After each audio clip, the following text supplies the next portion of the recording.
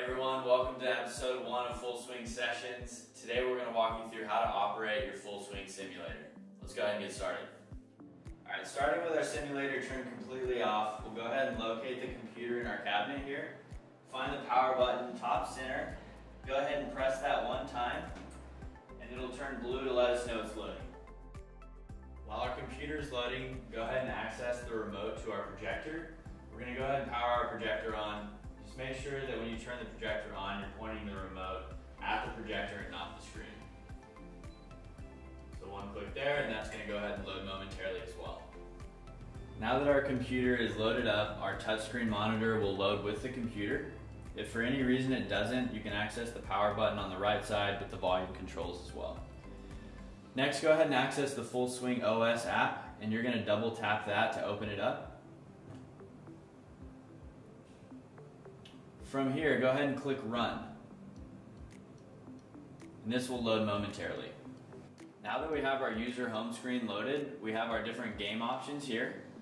You can tap to the right or to the left to go through our different games, or you can swipe. So we're gonna go ahead and click into golf for now, and you go ahead and tap the icon when you're ready to load. Our final step is to make sure our Ion 2 camera is turned on. Find the remote either mounted near the touchscreen monitor or placed on the cabinet below. You can go ahead and give that one click and that'll turn the camera on. In summary, there are four main steps to powering on your full swing simulator. The computer needs to be turned on, the projector, our touchscreen monitor, and our Ion 2 camera. At this point, I would like to make note that the majority of our simulators will have an Ion 2 camera that automatically turns on with the system and will not require the user to use a light switch. Alright, now that we've finished our session, we're going to go ahead and exit out of our app and turn off our full swing simulator. So start by going to the exit option in the bottom left. I'll ask you, are you sure? Go ahead and click yes. From here, it'll take us back to our user screen. Find the box in the upper right hand corner, give that a tap to X out, and then one more tap at the X here.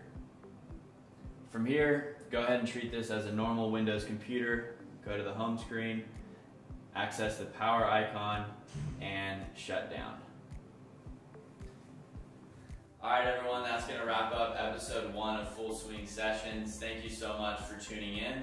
Be sure to leave any questions, comments, or training ideas in the comments box below. I'd love to hear your feedback. Stay tuned for episode two coming up next week, and be sure to follow us on social at Full Swing Simulators.